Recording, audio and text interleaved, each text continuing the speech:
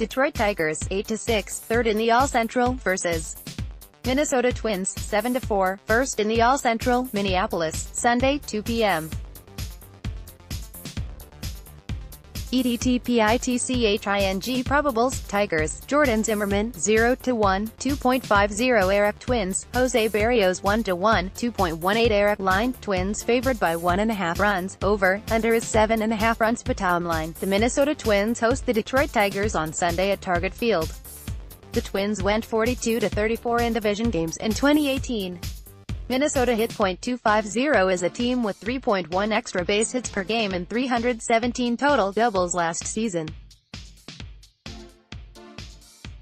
The Tigers went 33-43 in division games in 2018. Detroit hit .241 as a team last season while averaging 8.2 hits per game, underscore underscore underscore The Associated Press created this story using technology provided by Hero Sports, and data from Sportradar.